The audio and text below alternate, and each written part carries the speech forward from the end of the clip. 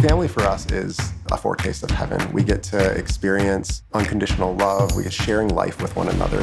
From their fun outings to daily routines, the Hoving family find themselves equally wrapped in God's love. A community of people to grow with and to grow in relationship with. Watch Joyfully Big, featuring the Hoving family. Everyone needs to know that we're human and that we're going to make mistakes and that this is a place where you can come back to for forgiveness and mercy. On March 27th at 9:30 p.m. And taking each day, each encounter with each child as an encounter with Christ is how you really, you know, meet him in the joy. Only on Shalom World.